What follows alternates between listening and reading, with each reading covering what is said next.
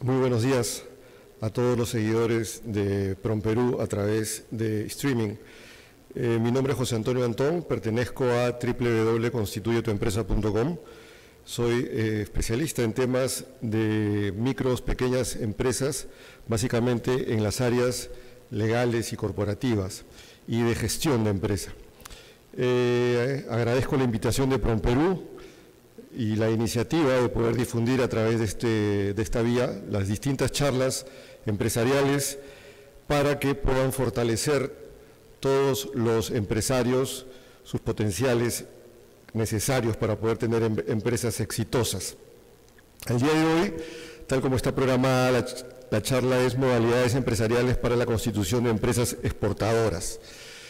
Si bien es cierto, lo que vamos a tratar el día de hoy son las características de las distintas formas empresariales que existen en el país, eh, deben considerar ustedes que estas características o estos tipos de empresa que existen en el país no solamente son de aplicación a eh, empresas exportadoras, sino a todo tipo de negocio. Entonces, creo que podemos aprovechar eh, lo que vamos a conversar el día de hoy para que sea de aplicación a todos los giros de negocios que ustedes tengan en mente. La charla la vamos a dividir en tres esquemas o vamos a tocar tres tópicos principales que consideramos son los esenciales que deben conocer los empresarios antes de iniciar un negocio. Vamos a tocar el tópico relacionado con temas legales, el tópico relacionado con temas laborales y de contratación de trabajadores, y el tema tributario, que es muy importante para que puedan tenerlo claro. Eh, aprovecho la oportunidad para que puedan eh, visitar nuestra página web www.constituyetuempresa.com, que es una eh, web en la cual van a encontrar una serie de información sobre gestión de empresas y que también van a encontrar información sobre el que vamos a conversar el día de hoy. Vamos a precisar ciertos conceptos. Eh, generalmente los empresarios cuando van a conformar una empresa creen que lo que van a formar son micros, pequeñas o medianas empresas. Y les comento esto porque en la experiencia que tenemos de más de 20 años en estos temas, cuando se nos acercan los empresarios nos dicen, quiero que me asesore en la conformación de una microempresa, quiero que me asesore en la conformación de una pequeña empresa, o me dicen quiero conformar una MIPE o quiero conformar una PYME. Lo cierto es lo siguiente, y ustedes deben tenerlo claro. Nadie en el Perú se constituye ni como micro ni como pequeña empresa, ni nadie es PYME o PYME.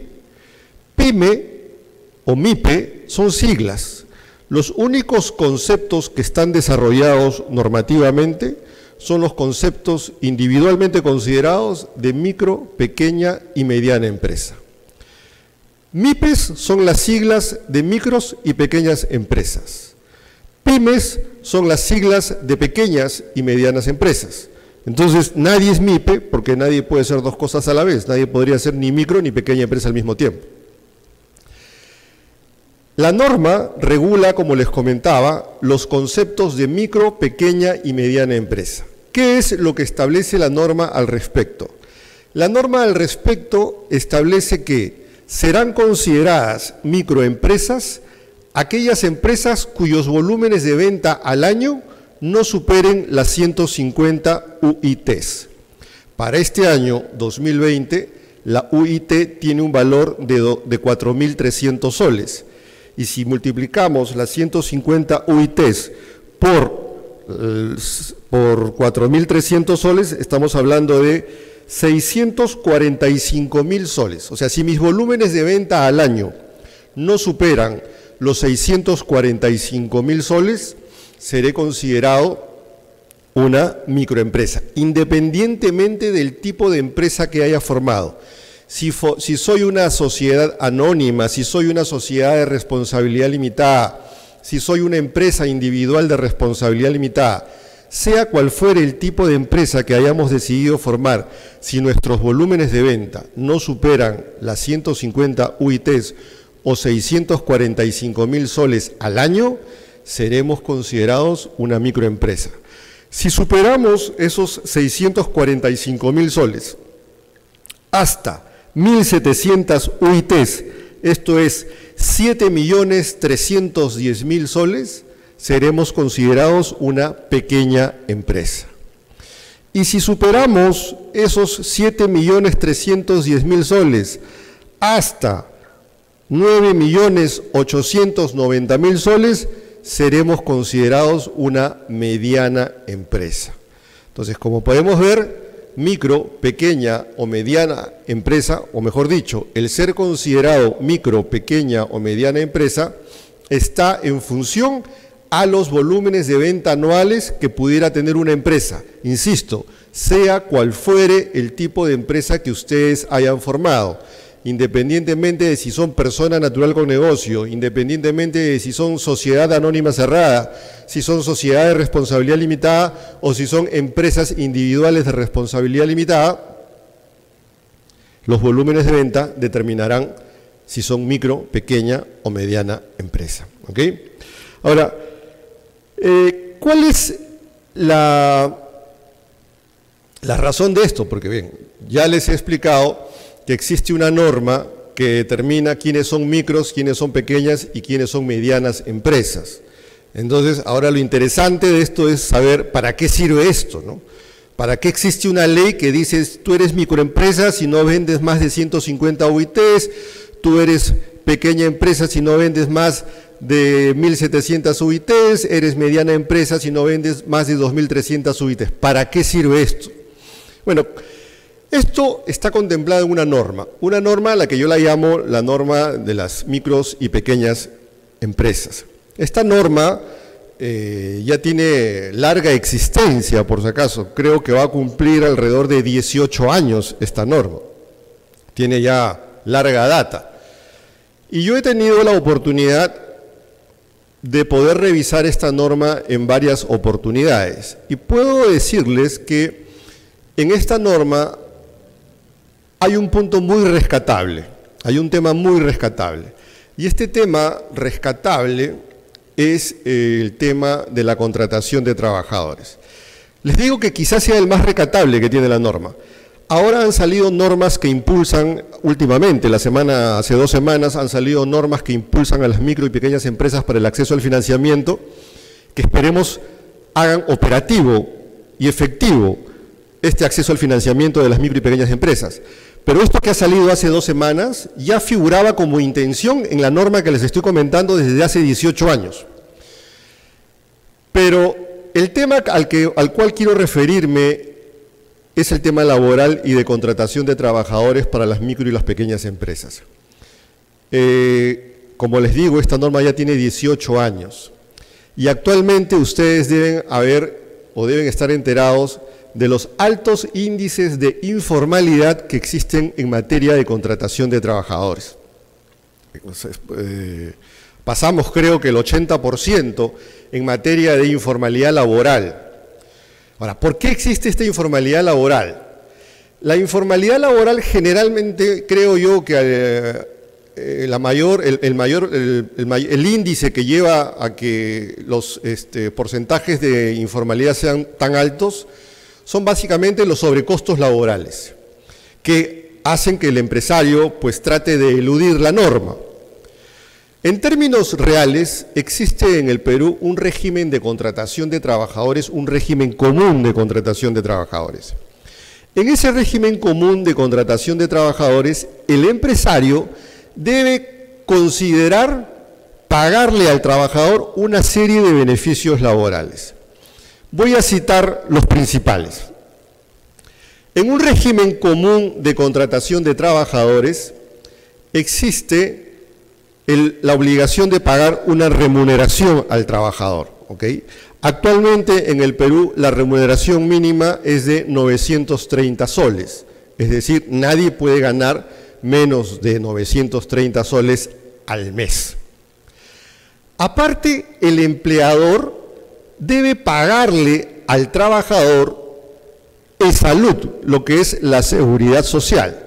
Debe considerar que tiene que pagarle el 9% de su remuneración. Es decir, el 9%, suponiendo que le paguemos a nuestro trabajador mil soles para redondear las cifras, eh, ese empleador debe pagar todos los meses a E-Salud el 9% de esa remuneración, es decir, 90 soles mensuales, por concepto de E-Salud y Seguridad Social. ¿Qué otro concepto debe considerar el empleador? Debe considerar el pago de la compensación por tiempo de servicios, la CTS. Debe pagar la CTS, que es un sueldo al año, que se paga en dos partes, en mayo y en noviembre, pero es una obligación del empleador por si acaso, estos conceptos, es salud, CTS, no es algo que se le descuente al trabajador, no, lo tiene que asumir el empleador. Aparte de salud y la CTS, el empleador debe considerar que debe pagarle al trabajador gratificaciones en julio. Tiene que pagarle un sueldo al año por la gratificación en julio. Tiene que pagar también la gratificación en diciembre un sueldo al año por la gratificación en diciembre. Y también tiene que pagar vacaciones, que son un sueldo al año también, 30 días. Entonces, como se darán cuenta ustedes, los sobrecostos laborales en el régimen común que les acabo de describir, son bastante altos, bordean, si no me equivoco, entre el 42 y 45% de los sobrecostos laborales. O sea, si un trabajador gana un sueldo determinado, al empleador le va a costar anualmente el 42% más. Repito, esa salud, CTS, gratificación de julio, gratificación de diciembre, vacaciones son beneficios laborales que el empleador debe pagarle al trabajador. Estos sobrecostos laborales son los que de repente, y creo yo, en la mayoría de los casos, hacen dificilísimo que un empresario de la micro y la pequeña empresa pueda asumir esa responsabilidad. No perdamos de vista que en el Perú el 98% de las empresas que existen pertenecen al segmento de la micro y pequeña empresa. Son empresas pequeñas. Entonces, cumplir con esas obligaciones laborales es sumamente difícil. Pero aquí viene algo muy importante y que creo yo ustedes deben tener en mente. Existe un régimen laboral especial para la contratación de trabajadores si están o pertenecen al segmento de las micros y las pequeñas empresas que permitiría reducir significativamente todos estos sobrecostos laborales que les acabo de mencionar. Casi los reducimos a nada. Por eso es que yo siempre digo que desde hace 18 años, porque desde hace 18 años existe este régimen especial al cual voy a referirme, no debería haber justificación alguna en la actualidad para que los empresarios no puedan contratar formalmente a sus trabajadores. Fíjense ustedes, si se trata de una microempresa donde es que se ubican la mayor cantidad de empresas en el Perú, es decir, aquellas que no venden más de 630 mil soles al año, podrían contratar a sus trabajadores acogiéndose a este régimen laboral especial para las microempresas y fíjense ustedes, pagarían, sí, obligatoriamente tienen que pagar la remuneración, de todas maneras, pero no están obligados a pagar compensación por tiempo de servicios, no se paga CTS. El salud tampoco se está obligado a pagar, solamente se está obligado a pagar el sistema integral de salud, que si no me equivoco, el sistema integral de salud por trabajador tiene un costo entre 16 y 20 soles mensuales. Ahí nomás hay una reducción de costo. Mientras en un régimen común yo tengo que pagar, si es que el trabajador gana mil soles, 90 soles, en el régimen de las microempresas, entre 16 y 20 soles mensuales, lo cual ya hay un ahorro significativo. Entonces, no se paga eh, CTS, se reduce el salud al sistema integral de salud, no hay obligación de pagar gratificaciones ni en julio ni en diciembre. Y el periodo vacacional se reduce de 30 a 15 días. Fíjense ustedes que se reducen todos los sobrecostos laborales. Entonces, por eso les digo, No hay justificación desde hace 18 años para que los empresarios de las micros y las pequeñas empresas no tengan a sus trabajadores formalmente contratados. Deben tenerlos formalmente contratados. ¿Por qué? Porque tienen este régimen que les permite tener a sus trabajadores contratados a plazo indeterminado, a plazo determinado, pero reduciendo significativamente los costos laborales. Pudieran vivir tranquilos sin miedo a que les pudiera llegar la SUNAFIL o a la expectativa de que un trabajador pudiera denunciarlos. Por eso, cuando ustedes tengan que contratar trabajadores, no dejen de analizar la posibilidad de hacerlo acogiéndose al régimen laboral especial para contratar trabajadores que les permite reducir significativamente los sobrecostos laborales. Lo que sí no deben hacer de ninguna manera, y aquí sí soy bastante incisivo, es contratar trabajadores bajo el esquema de recibos por honorarios profesionales. Esta es una gran falla que suelen cometer muchísimo las empresas y hasta el sector público la de contratar a trabajadores bajo el esquema de recibos por honorarios profesionales. ¿Por qué? Les voy a explicar por qué. Primero, la naturaleza de los recibos por honorarios profesionales es la de ser utilizados cuando yo contrato a una persona que no tiene obligación de cumplir con un horario de trabajo, que ni siquiera tiene obligación de ir a la oficina y que no va a estar en relación de subordinación. Entonces yo solamente puedo utilizar el esquema de recibos por honorarios profesionales cuando voy a contratar a una persona que no tiene un horario de trabajo, cuando voy a contratar a una persona que ni siquiera tiene que ir a la oficina y que tampoco está en relación de subordinación. Solo así podría utilizar el esquema de recibos por honorarios profesionales. Pero si yo tengo un trabajador, el cual tiene un horario de trabajo, que ingresa a las 9 de la mañana y se va todos los días a las 5 de la tarde, que tiene que ir a la oficina todos los días y que recibe directivas de la empresa, a ese personal no lo puedo contratar de ninguna manera mediante el esquema de recibos por honorarios. Si lo hago, ¿qué va a ocurrir? Lo único que voy a hacer es tener una bomba de tiempo a mi lado. ¿Por qué? Les voy a explicar por qué. Imaginémonos que yo tengo a un trabajador que cumple con un horario de trabajo, ingresa todos los días a las 8 de la mañana, se retira a las eh, 6 de la tarde, está en relación de subordinación, tiene que ir a la oficina todos los días, y le digo todos los meses, oye, emíteme tu recibo por honorarios, porque así te voy a pagar. Es como los romances. Los romances pueden ser cortos o pueden ser largos, pero siempre van a terminar. Lo digo porque en la vida todo se termina. O sea, un romance puede tener muchísimos años, pero al final uno de los dos se va a morir y, la historia va a acabar. Y en la vida todo termina. Entonces, imaginémonos que ese romance laboral dura pues mucho tiempo, por recibos por honorarios profesionales, un año, dos años, tres años, cuatro años, cinco años, qué sé yo.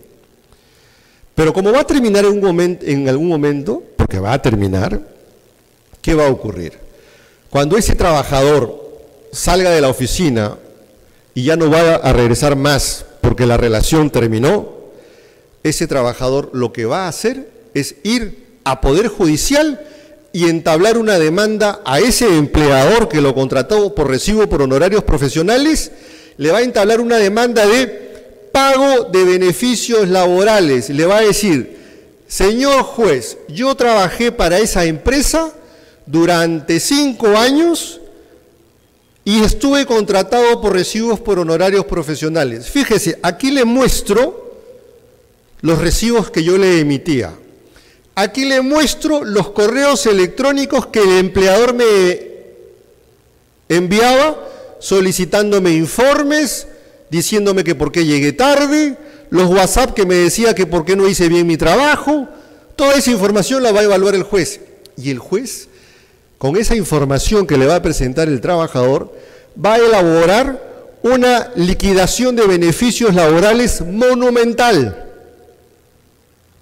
Va a decirle al empleador, el juez le va a decir, señor empleador, usted a este trabajador que lo tuvo por recibos por honorarios lo contrató mal. Y como lo contrató mal, ahora tiene que pagarle todos los beneficios laborales que no le pagó durante todos los años que trabajó para usted. Y el, trabajador va a ganar ese juicio 100%, se los puedo asegurar. Por eso es que lo peor que pueden hacer ustedes es contratar trabajadores que van a cumplir un horario de trabajo utilizando el esquema de recibos por honorarios profesionales. No lo hagan. Para esto les acabo de mencionar, tienen la alternativa de utilizar el régimen laboral especial para la contratación de trabajadores, que creo que es una alternativa que puede hacer que ustedes tengan sus trabajadores formalmente contratados y estar tranquilos, y estar tranquilos. ¿Ok? Muy bien. Entonces, para resumir, micros, pequeñas o medianas empresas son conceptos que están en relación a los volúmenes de venta. Cualquier tipo de empresa sociedades anónimas, sociedades anónimas cerradas, sociedades de responsabilidad limitada, empresas individuales de responsabilidad limitada, podrán, ser consideradas micros, pequeñas o medianas empresas dependiendo de los volúmenes de, ventas. Nadie se constituye ni como micro, ni como pequeña, ni como mediana empresa, nadie se constituye como MIPE, nadie se constituye como PYME. Hay tres eh, inquietudes que siempre absolvemos en esta charla y son inquietudes que hemos eh, podido eh, captar de los empresarios. Los empresarios cuando van a formar una empresa tienen básicamente tres inquietudes. Tres inquietudes que son las siguientes. Vamos por la primera inquietud. La primera inquietud que tiene el empresario es la de determinar qué tipo de empresa va a utilizar para la conformación de su empresa. El empresario tiene en mente que existen las sociedades anónimas, que existen las sociedades anónimas cerradas, que existen las sociedades de responsabilidad limitada, que existen las empresas individuales de responsabilidad limitada. El empresario ya tiene eso claro. Pero el empresario cree o tiene la idea de que dentro de estos tipos de empresa que yo les acabo de mencionar, existe alguno que cualitativamente podría ser mejor que otro. Aquí sí voy a ser tajante y ustedes deben eh, entender esto en la misma forma. No existe en el Perú ningún tipo de empresa que cualitativamente sea mejor que otro. No existe. Todos los tipos de empresa que existen en el Perú son susceptibles de poder ser utilizados por ustedes para poder realizar la actividad que tengan en mente. Aquí les doy un dato estadístico. Fíjense, la Ley General de Sociedades contempla siete tipos societarios, de los cuales, de esos siete tipos societarios, el más utilizado y abrumadoramente es el de la sociedad anónima cerrada. Luego hay otra norma que regula a las empresas individuales de responsabilidad limitada, las EIRL. El dato estadístico es el siguiente. Del 100% de las empresas que existen en el Perú o que se constituyen en el Perú, el 65% lo hacen como sociedades anónimas cerradas. El 33% lo hace como EIRL. Ahí nomás tenemos más del 28%, perdón, más del 98%. O sea, el 2% las demás. Las SAC y las EIRL son las más utilizadas. Y si ustedes quieren decirme si la SAC es mejor que la EIRL o que la EIRL es mejor que la SAC, nada. Cualitativamente están en un mismo nivel.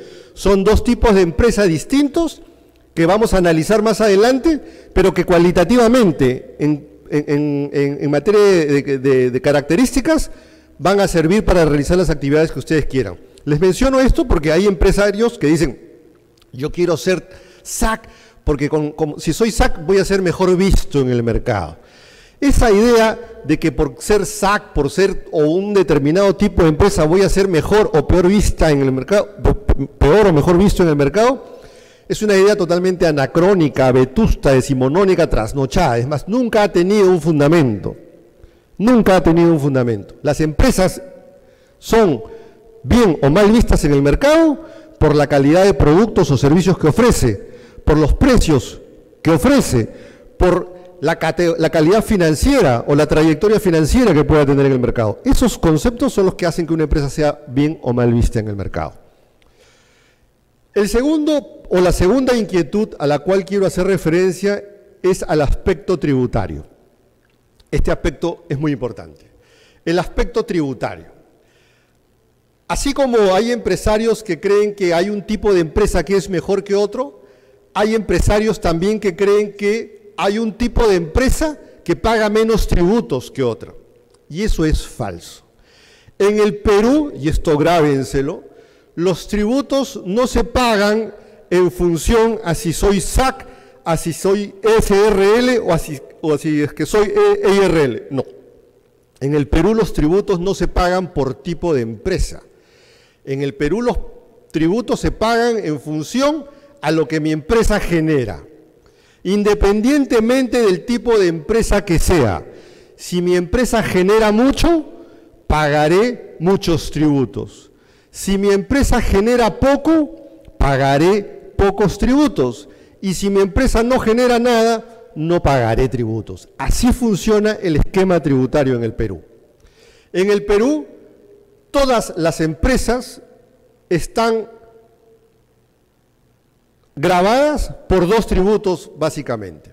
Están afectas a dos tributos básicamente, que son el impuesto general a las ventas, el IGB, y el impuesto a la renta. Son dos tributos a los cuales las, empresas ineludiblemente están afectas. IGB e impuesto a la renta. ¿Qué cosa es el IGB? IGB es impuesto general a las ventas. En otros países se les llama IVA, impuesto al valor agregado. En el Perú se llama IGB, impuesto general a las ventas. ¿Qué características tiene el IGB? El IGB tiene como principal característica la de ser un impuesto indirecto. ¿Por qué se dice que es un impuesto indirecto? Se dice que es un impuesto indirecto porque no lo paga quien produce o brinda el servicio, o, produce el bien, sino que lo traslada al comprador del producto o servicio. Por ejemplo, si yo soy productor de teléfonos celulares, soy productor de estos celulares, y el costo y la utilidad de producir este celular es de 100, yo cuando se lo venda a alguien, no se lo puedo vender en 100. Tengo que vendérselo en 100 más el IGB. El IGB actualmente en el Perú es del 18%. Entonces, cuando yo lo venda, tengo que decirle al comprador que me tiene que pagar los 100, que es mi costo y utilidad, y cargarle el 18%. El comprador me tiene que pagar 118 soles. 100 van a mi bolsillo y 18 se los, se los tengo que entregar a la SUNAT. Eso se llama Impuesto General a las Ventas. Eso es IGB. ¿Ok? La segunda característica del IGB, aparte de la de ser un impuesto indirecto, es que el IGB es un impuesto de periodicidad mensual. Es decir, el IGB se paga, se liquida y se paga mensualmente. El IGB se, paga y se liquida mensualmente. Creo que tenemos una consulta, vamos a dar pase a la consulta. Eh, tenemos dos consultas por parte de la transmisión. Uno es de la señorita Nati. Dice, ¿qué pasa si solo trabajo unos meses con recibos por honorarios? ¿También tienen el derecho de reclamo ante el Poder Judicial? No hay ninguna justificación para que una persona que cumple con un horario de trabajo y está en, en relación de subordinación trabaje mediante el sistema de honorarios profesionales. Desde el inicio, incluso dentro del periodo de prueba, debería estar en planilla y ciertamente, por más que tenga uno o dos meses, podría reclamar el Poder Judicial los beneficios laborales que no le pagaron por el periodo de tiempo que trabajó. Ok, gracias. Otra parte, otra pregunta por parte de el señor Cornelio Cosme. ¿Cuántos trabajadores como mínimo debe tener una microempresa? Ok, respecto al número de trabajadores, no existe una obligación de tener trabajadores. Basta que yo tenga a un personal que va a tener un horario de trabajo para que esté en la obligación de tener a mi trabajador en planilla. O sea, no es que exista una norma que diga que, eh, que tengo que tener un número de trabajadores obligatoriamente, no. Eh, en el Perú, por ejemplo, yo puedo, yo José Antonio, puedo constituir una empresa de abogado, y me José Antonio Antón Abogados, y pongo EIRL. Yo puedo constituir mi empresa y no tener ningún trabajador. Pero si yo decido contratar una secretaria para que atienda las llamadas de mis clientes, a esa secretaria ya la tengo que tener en planilla. Si yo contrato a alguien para que me ayude todos los días a llevar y recoger los documentos de mi, de mi estudio de abogados, tengo que tenerlo en planilla.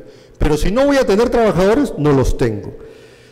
Aclaro este punto y de repente la duda de esa pregunta va por el lado también de que hasta el año 2015, hasta julio del 2015, existía ciertamente un criterio para ser considerado micro, pequeña o mediana empresa.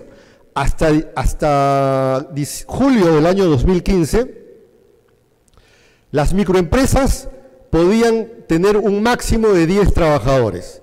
Actualmente, ese tope de 10 trabajadores ya no existe. Actualmente, una microempresa puede tener el número de trabajadores que estime conveniente. ¿Ok? Continuamos entonces. Muy bien. Estábamos conversando sobre el tema tributario y sobre el IGB y habíamos dicho que respecto al IGB se trataba de un impuesto de periodicidad eh, mensual. Se liquida y se paga todos los meses. ¿ok? Eh, el otro impuesto al cual están afectas las empresas es el impuesto a la renta.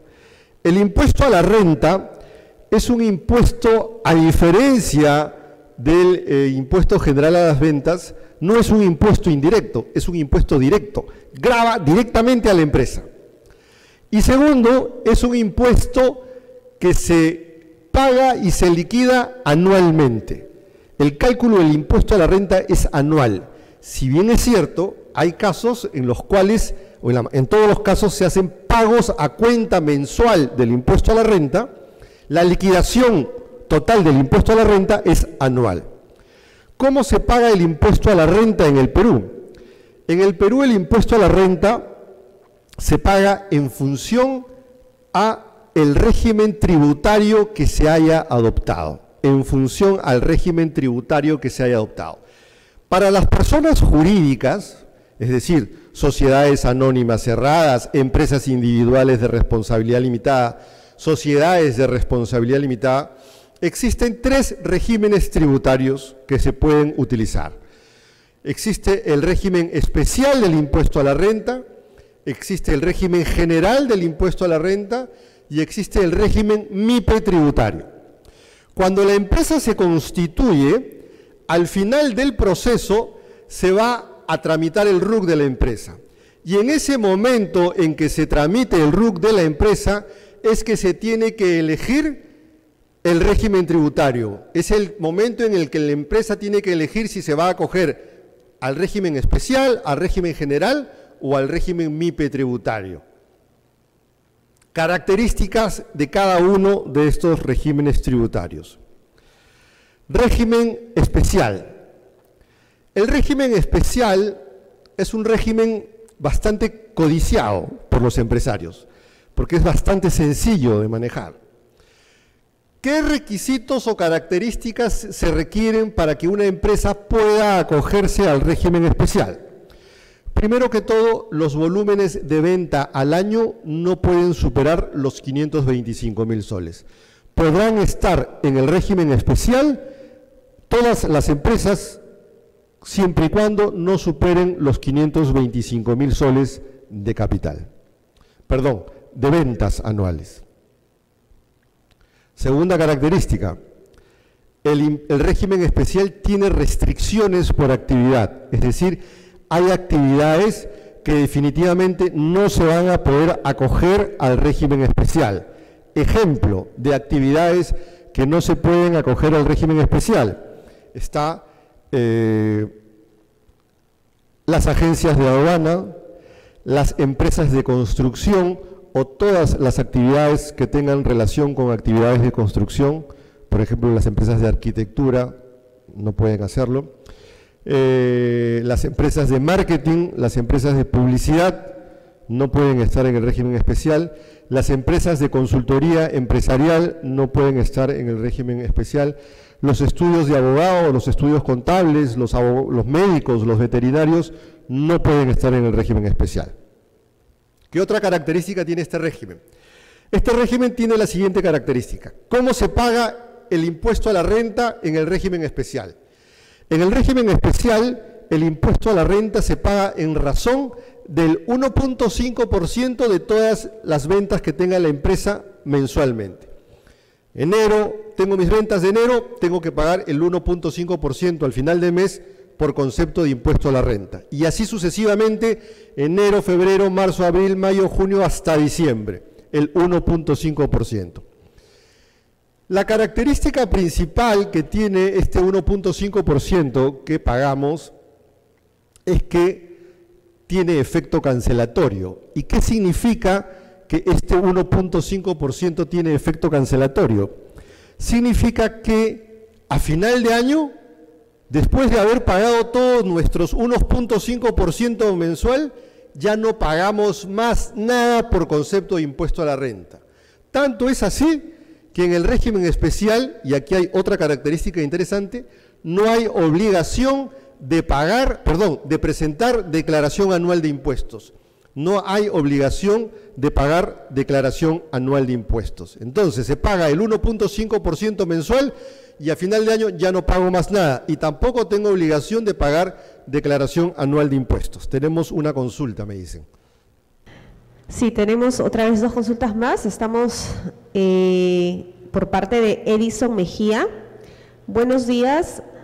¿Qué pasa si mi empresa no generó nada en el mes de enero? ¿No pago nada o sí tengo que declarar?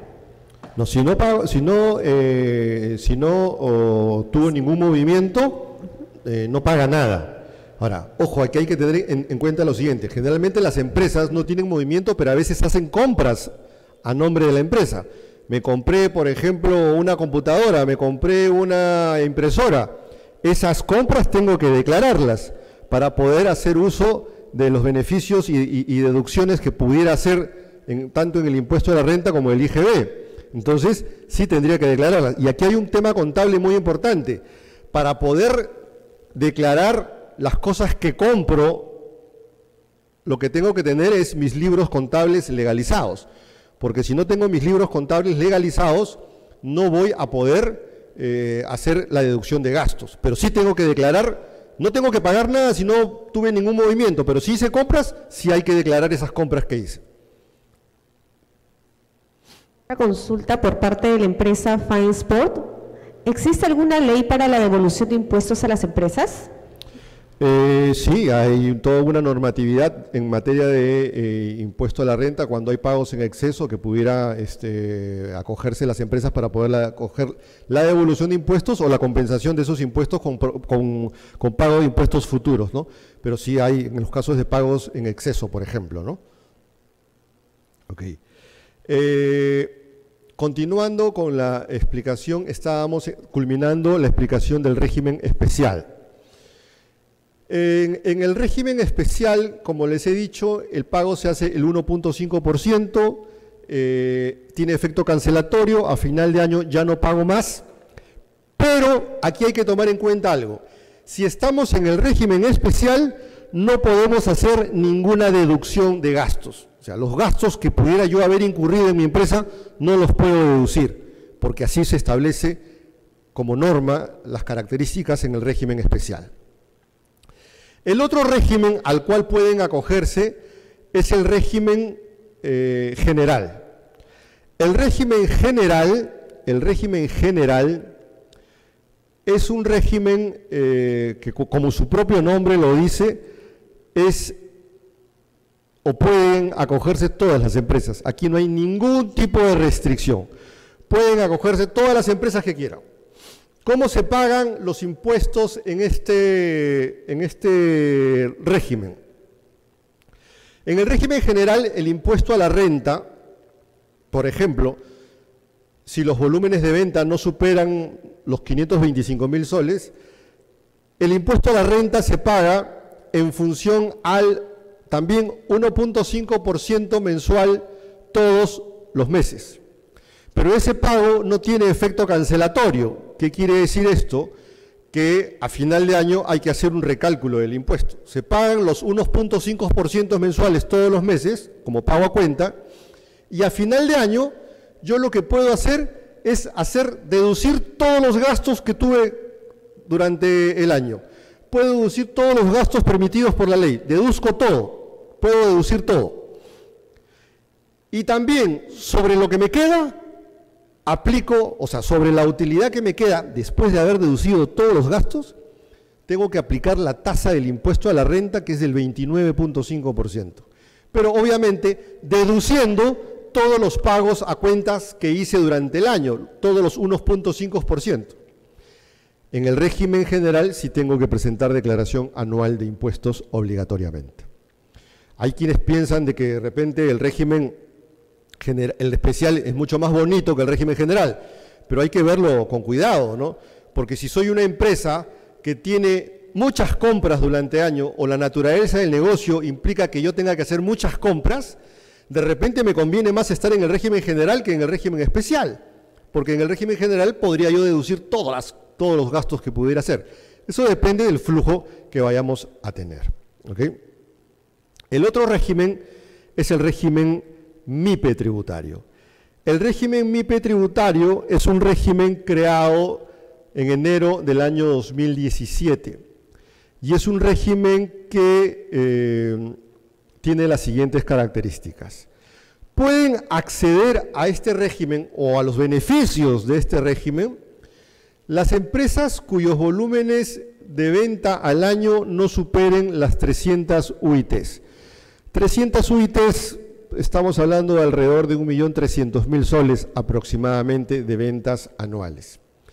Si mis ventas no superan ese monto, puedo estar en el régimen MIPE tributario. ¿Cómo se paga el impuesto a la renta en el régimen MIPE tributario?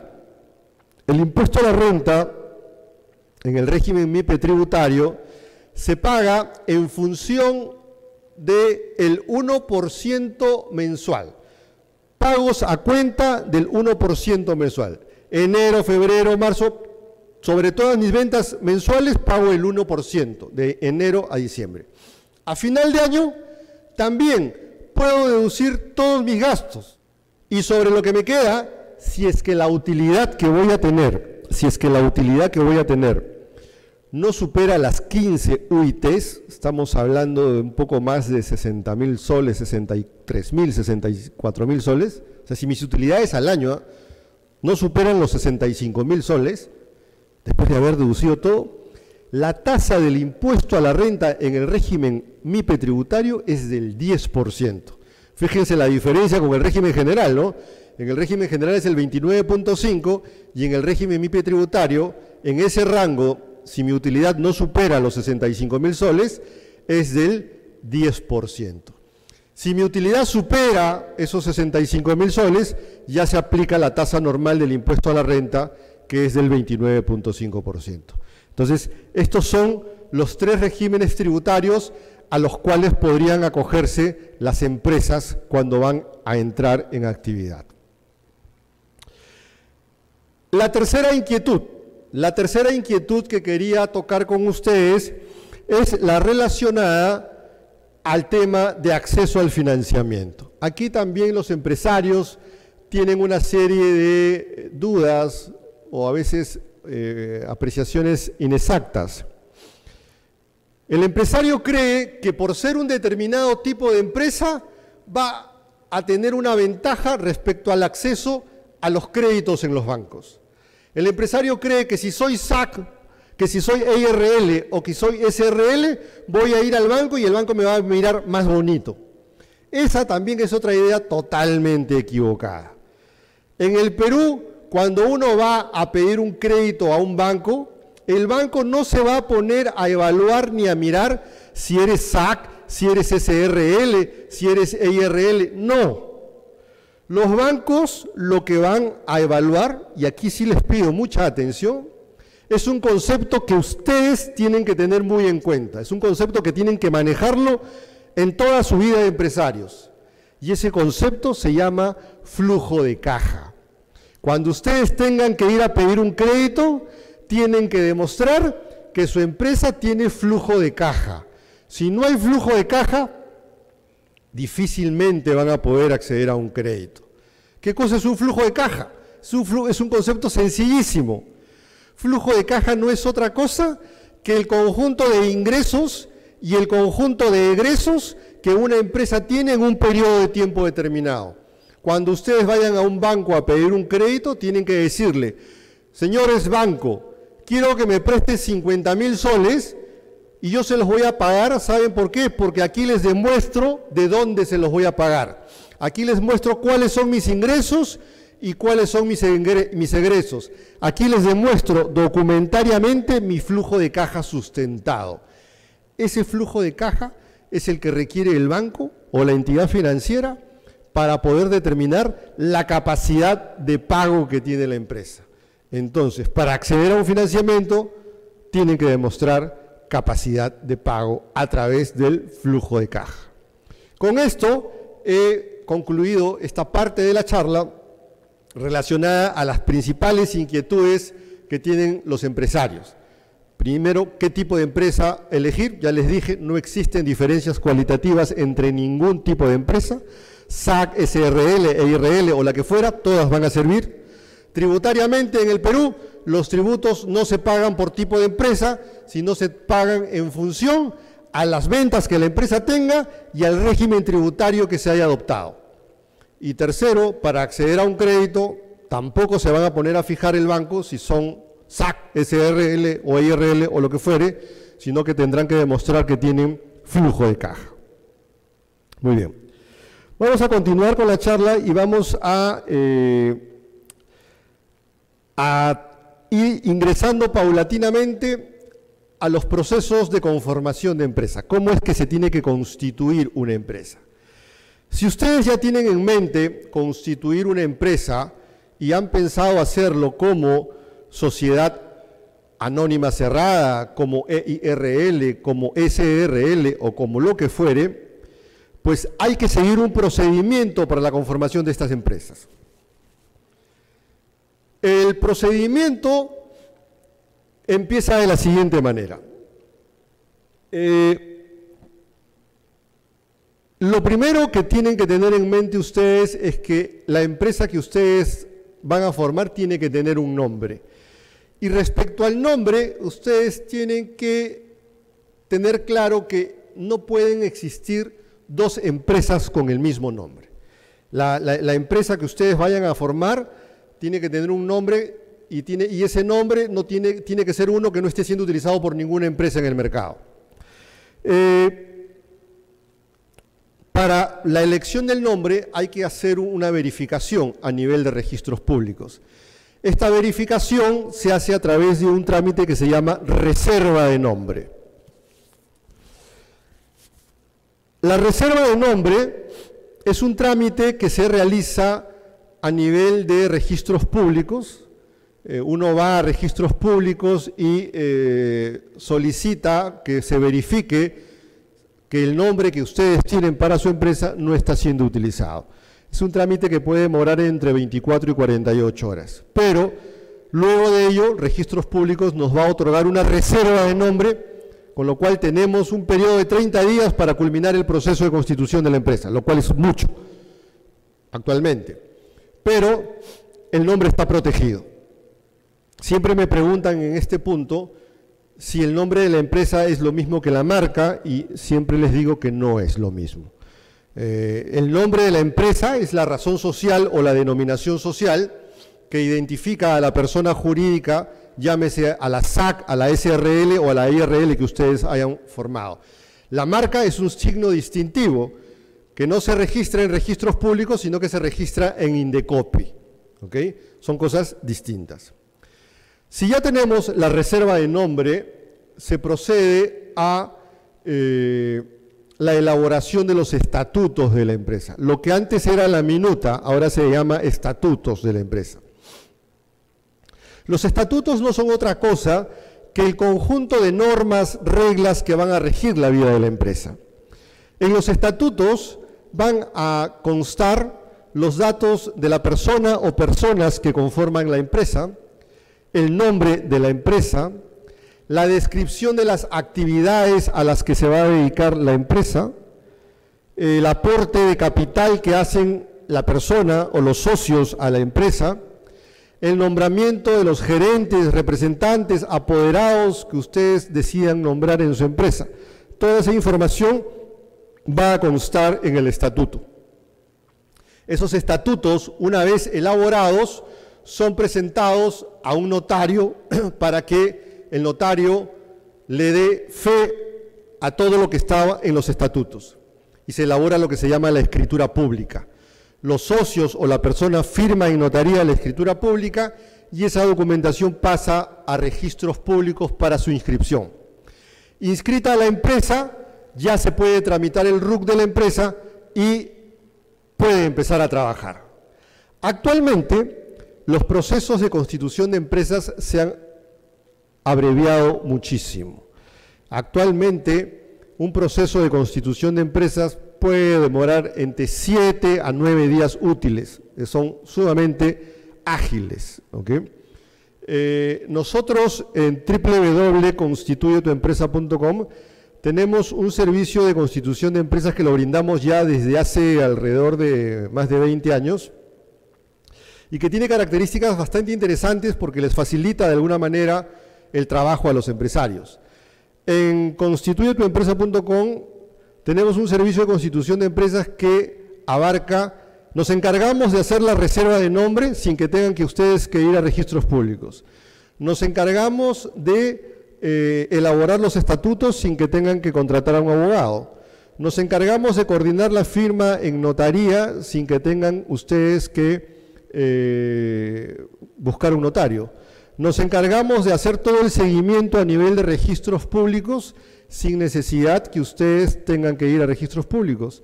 Tramitamos el RUC sin necesidad que ustedes vayan a la SUNAT.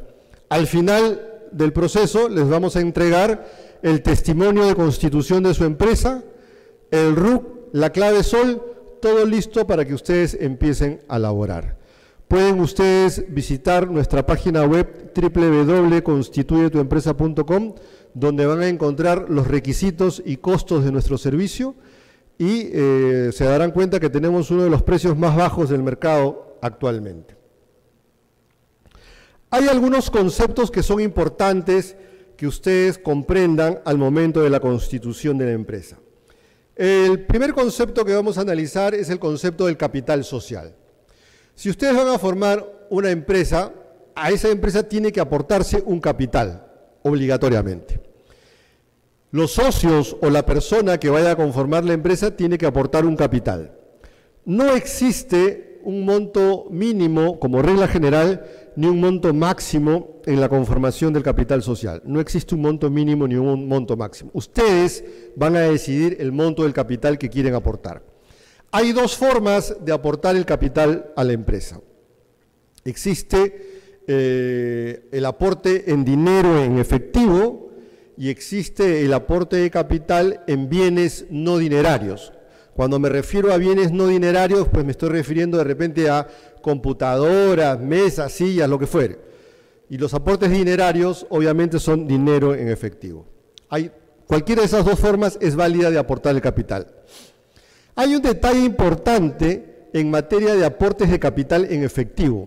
Actualmente, si el aporte en efectivo por cada persona que constituya la empresa no supere los 12.900 soles o 3 UITs, no hay necesidad de bancarizar el aporte. O sea, si el aporte de capital no supera los 12.900 soles por persona en efectivo, no hay necesidad de hacer o abrir una cuenta bancaria. Simplemente se va a formalizar ese aporte de capital mediante una declaración jurada que va a constar en el documento que vamos a elaborar, lo cual facilita muchísimo el trámite porque para efectos de la constitución de la empresa no se requerirá que se aperture una cuenta bancaria. Si ustedes lo creen conveniente, posterior a la constitución de la empresa, podrán aperturar las cuentas bancarias que estimen pertinente. En cuanto al aporte de bienes no dinerarios, lo único que se va a pedir son las características de los bienes. Por ejemplo, en el caso de las computadoras, una laptop, marca, número de serie y el valor que ustedes le atribuyen. No hay necesidad de que los bienes sean tasados o que haya un perito o que nos alcancen las boletas o las facturas, nada. También se va a formalizar a través de una declaración jurada, pero se debe indicar las características del bien, marca, número de serie, el modelo, etcétera. El valor tienen que atribuirlo ustedes y el valor no es el valor en tienda, es el valor, dice la ley, el valor en mercado.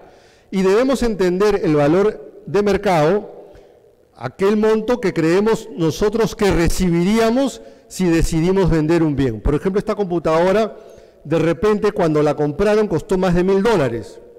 Actualmente, si alguien pretendiera venderla o si yo pretendiera venderla, de repente por esta computadora no me dan más de 300 dólares. Ese es el valor de mercado, lo que yo creo que recibiría si decido vender ese bien. Y eso también va a quedar a través de una declaración jurada.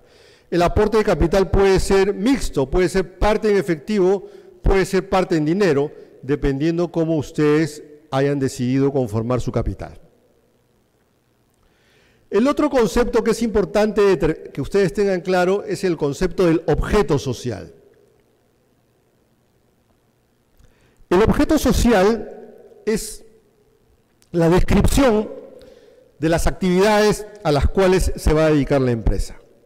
Dentro de los estatutos de la empresa dentro de los estatutos de la empresa, tienen ustedes que hacer una descripción de las actividades a las cuales se van a dedicar. Y ahí ustedes tienen total eh, libertad. Pueden poner todas las actividades que crean ustedes que potencialmente pueden realizar. Lo que está prohibido es hacer descripciones genéricas de sus actividades, es decir, no puedo decir, por ejemplo, mi empresa se va a dedicar a la compra y venta de todo tipo de bienes o que mi empresa se va a dedicar a la prestación de todo tipo de servicios. Eso está prohibido. O utilizar frases que mm, nos hemos malacostumbrado a utilizar cuando son frases que realmente no tienen ningún contenido. ¿no? Hay empresarios, quiero poner mi empresa y que sus actividades sean servicios generales. ¿Qué será servicios generales? Pues en mi experiencia les digo, servicios generales para un constructor es una cosa, para un arquitecto es otra cosa, para un informático es otra cosa. Entonces, no puedo decir servicios generales como actividad porque eso no tiene ningún contenido. O quiero tener una empresa de servicios múltiples, es otro concepto genérico que está prohibido. Y si nosotros hacemos esas descripciones de actividades, o sea, servicios múltiples, servicios generales, registros públicos va a observar eh, e, e, ese trámite y, va, a traer un sobrecosto ello. ¿no? En el objeto social ustedes pueden poner todo lo que quieran, pueden detallar todo lo que quieran, pero tiene que serlo de manera específica, específica y detallada. Es importantísimo que sea de manera específica y detallada. Vamos a empezar ahora a analizar las características de los tipos de empresa más utilizados en el país. Ya les he dicho que, ya les he mencionado que existen dos tipos de empresas que son los más utilizados. Las sociedades anónimas cerradas y las empresas individuales de responsabilidad limitada. Vamos a empezar con estos dos tipos de empresas. Vamos a empezar con la empresa individual de responsabilidad limitada, con la EIRL. La EIRL Dato estadístico, 33% de las empresas que se constituyen en el país lo hacen como empresas individuales de responsabilidad limitada. O sea, una tercera parte de las empresas que se constituyen en el país lo hacen como EIRL. La EIRL es un tipo de empresa que se constituye como mínimo, o mejor dicho, como máximo con una persona. Solamente una persona puede constituir una EIRL. En este esquema empresarial no pueden haber socios de ninguna manera. Este es un esquema eh, que está diseñado para una sola persona. Una sola persona será el dueño del negocio, una sola persona será la que aporta todo el capital. Característica especial de este tipo de empresa es que esta persona no va a comprometer su patrimonio personal en el riesgo del negocio. Si la empresa en el futuro tiene deudas, quien va a responder por las deudas de la empresa será el patrimonio de la empresa, no el patrimonio personal de los dueños del negocio o del dueño del negocio, en este caso. Es una empresa de responsabilidad limitada. Insisto, se trata de una empresa conformada por una sola persona. Aquí no hay socios. Eh, el hecho de que se trate de una sola persona no hace impedimento y no hay ningún impedimento para que esta empresa pueda contratar la cantidad de trabajadores que quiera. Si quiere tener un trabajador, si quiere tener 100 trabajadores, lo puede hacer.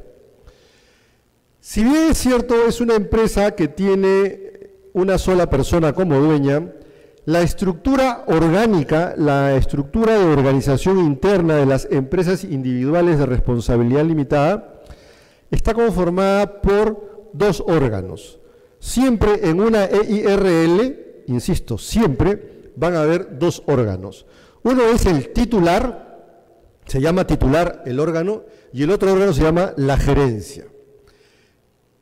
¿Qué es el titular en una EIRL? El titular identifica al dueño del negocio, la máxima autoridad, al que aportó todo el capital.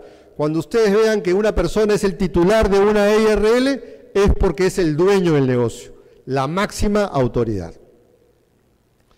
La gerencia es el órgano que eh, indica quién es el que está a cargo de la administración de la empresa.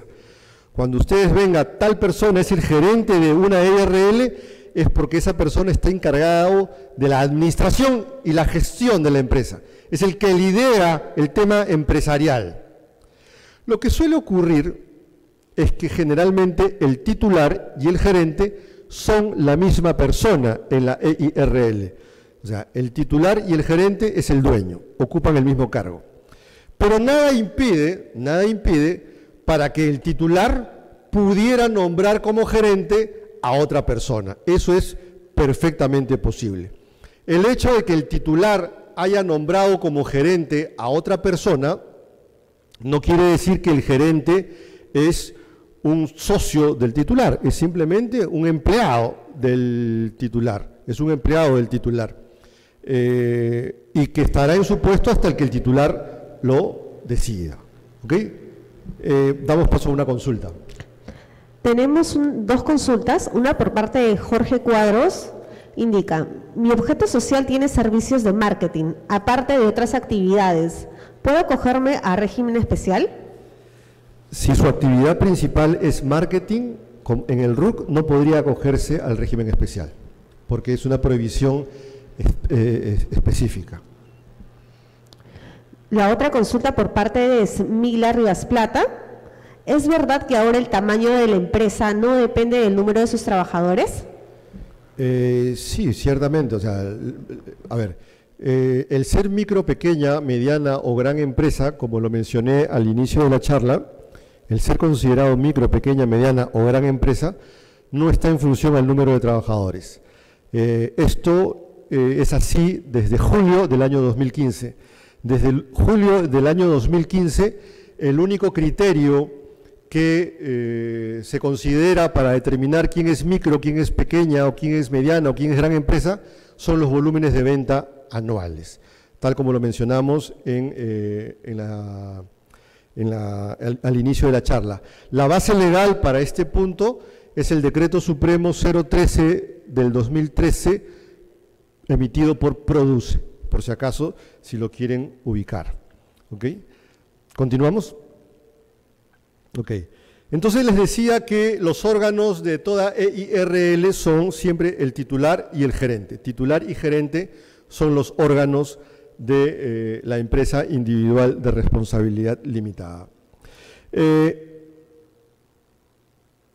las EIRL, como les decía, no tienen límites en cuanto a la contratación de trabajadores tampoco tienen límites en cuanto a los volúmenes de venta, pueden vender todo lo que quieran. Eh, ¿Quiénes deberían formar una IRL? Aquellas personas que eh, no necesitan tener socios. Pues, no me interesa tener socios. Al menos en el corto tiempo no me interesa tener socios. y quiero tener mi empresa, tienen la, alternativa de la EIRL. Para quien no quiere tener socios, la EIRL es la mejor opción. No tiene volúmenes de venta eh, limitados, puede vender todo lo que quiera, puede contratar la cantidad de trabajadores, no hay ninguna restricción en estos aspectos que acabo de mencionar. Y si en el futuro surge la posibilidad de que en esta EIRL que tengo alguien quiera incorporarse a la empresa inyectando capital, puedo transformarme a una SAC, por ejemplo. Es posible transformar la EIRL en una sociedad. Es un trámite sencillo, toma tres semanas, pero es sencillo ese trámite de transformación eh, empresarial, por si acaso. Con esto he terminado la parte relacionada a lo que es la empresa individual de responsabilidad limitada. Si tuvieran cualquier consulta, pueden empezar a hacerlas para poder absolverlas con, detalle. Vamos a pasar ahora a ver a las sociedades anónimas cerradas. Vamos a empezar con las sociedades anónimas cerradas, que es el segundo tipo de empresa, no el segundo, es el tipo de empresa más utilizado en el Perú. El 65% de las empresas que se constituyen en el país lo hacen como sociedad anónima cerrada, como SAC.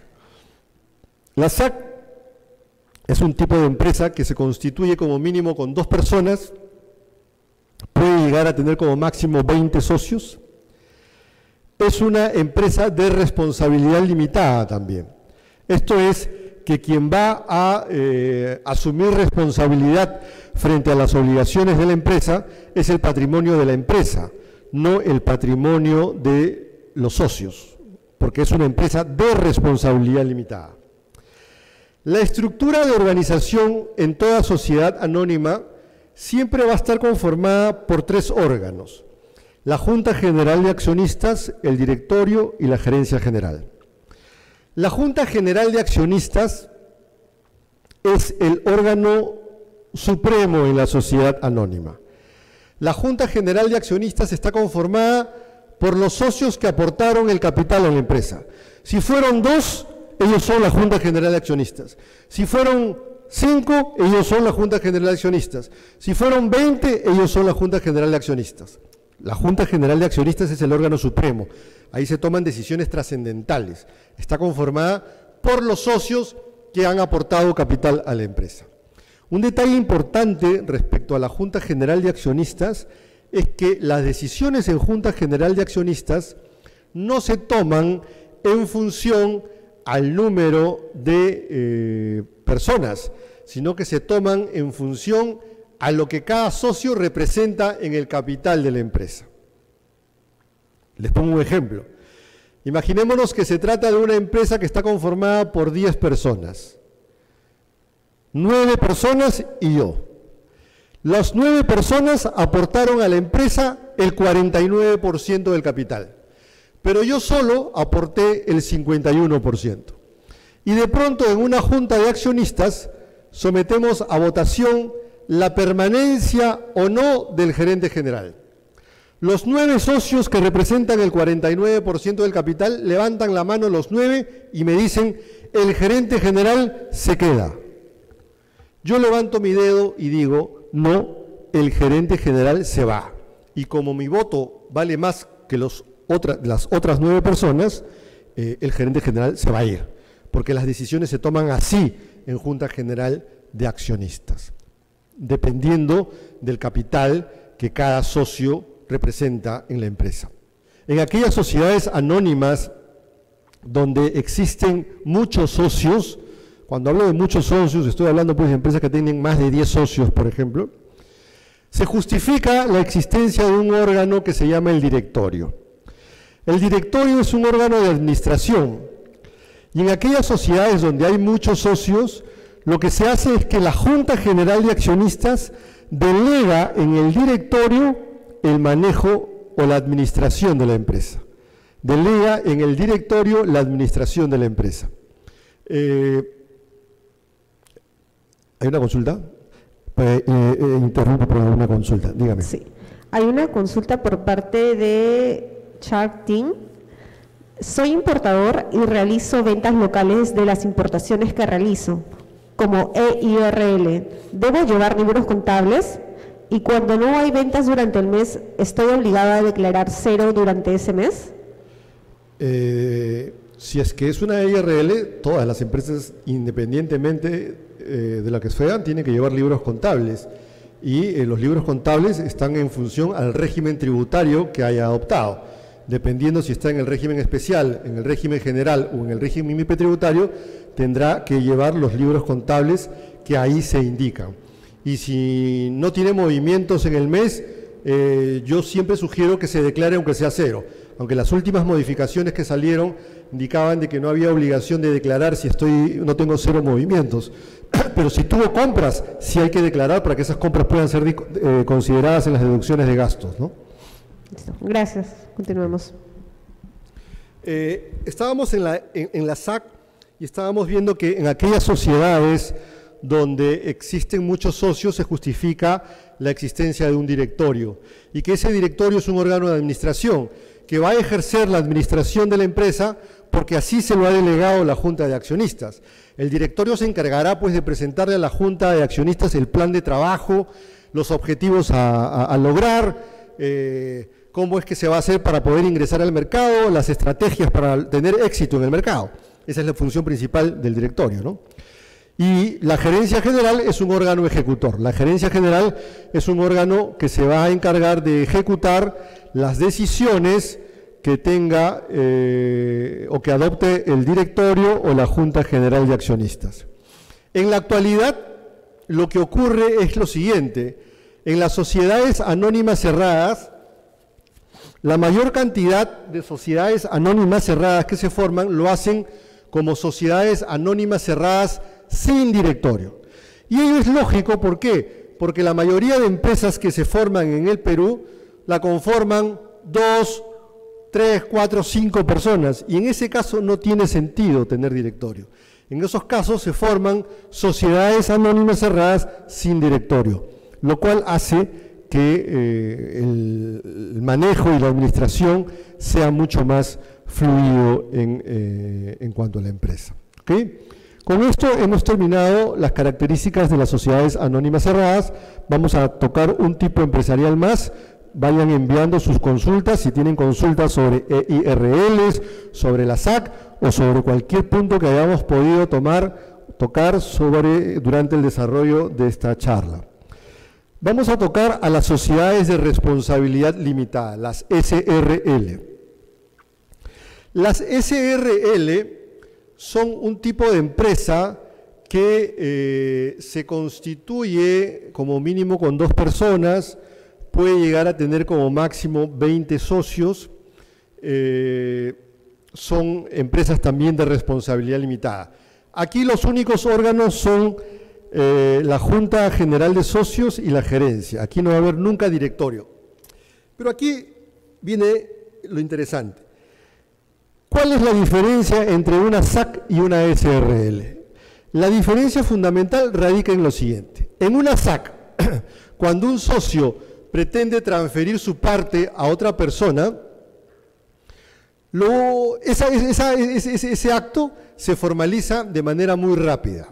O sea, esa transferencia de, la porción que pudiera tener una, de acciones que pudiera tener una persona en una sociedad anónima se hace de manera muy rápida y muy ágil, se hace rapidísimo.